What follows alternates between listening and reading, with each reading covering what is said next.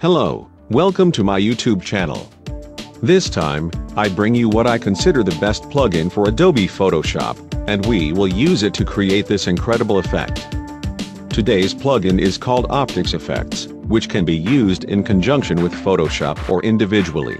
With it you can apply incredible effects and filters with a totally professional result as well as it also offers you various editing tools such as masks and layer levels. You can download this incredible complement with a link that I will leave you in the description. I will also leave you a coupon code so that you can get a 25% discount on Optics FX. Now we are going to create an effect with this plugin.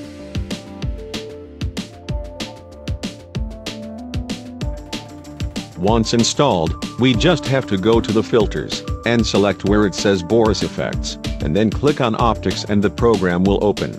When we open the program we find a very friendly interface. Where at the bottom, we will find the various filters and effects that we can apply to our image. On the left we will find the layers window similar to Photoshop, where we can create more layers and apply blending modes. We can also access tools such as color wheels to modify the colors of the project, thus having total creative freedom in our work.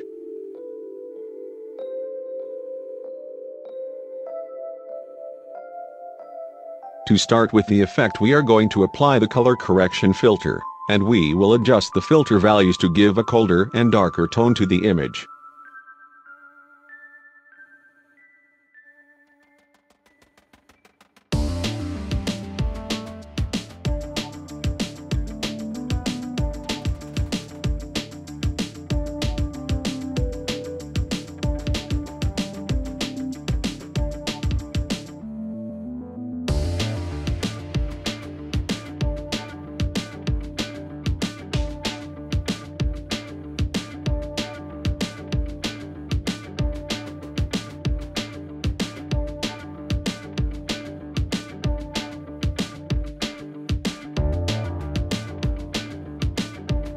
Now we create a new layer, and search the Glow Darks filter to darken the background a little more.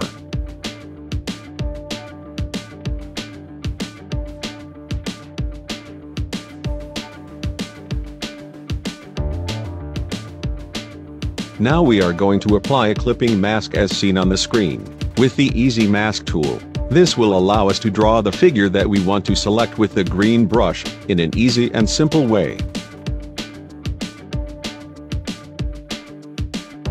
Then with the other red brush, we draw outside the area we want to select. Now we just have to click on Generate Mask as seen in the video, and we can see the mask by clicking on Show Mask as shown on the screen. Here we can see the result of our selection. Then we invert the clipping mask so that the effect is applied to the background. Now we create a new layer, and applying the night sky filter to create a sky with stars.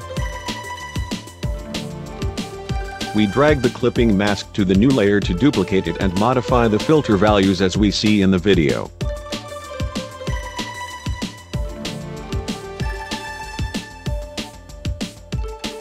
Now we are going to create a gradient clipping mask so that the filter only applies to the sky as seen on screen.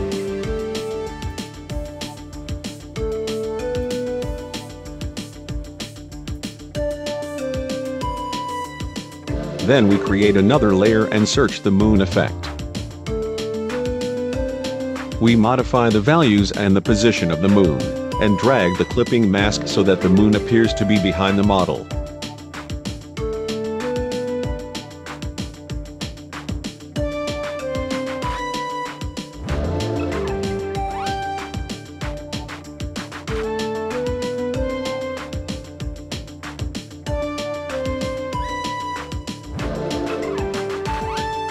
Now we create another layer and search the laser beam filter to apply it on the sword as seen in the video.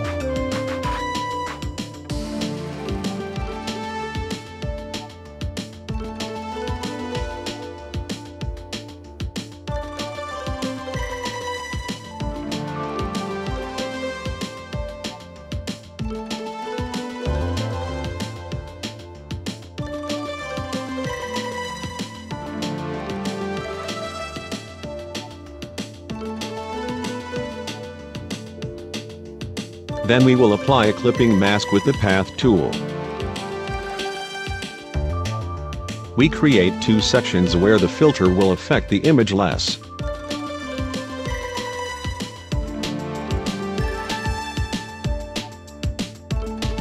At the top we modify the hardness of the selection to give a more blurred effect. Then we invert the mask and give some touches to the effect.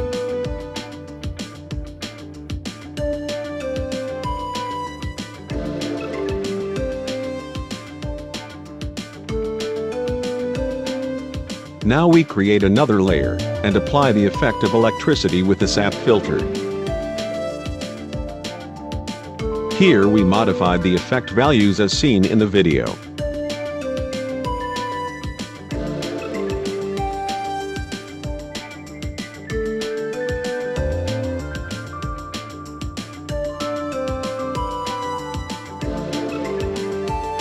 Then we apply a clipping mask with the path tool so that the rays are better integrated into the sword.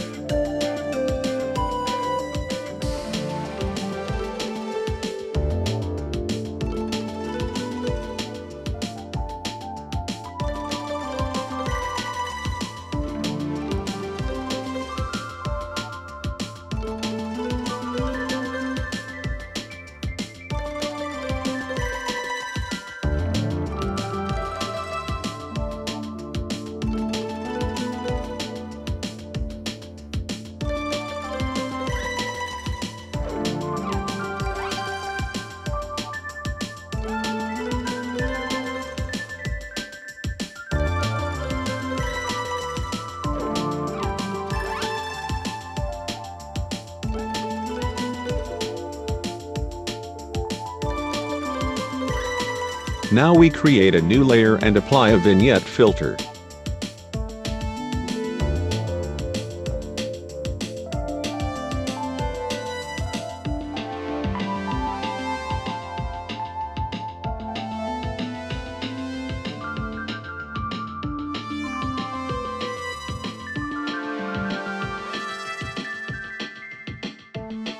Then we create another layer and apply a lens flare effect as seen in the video.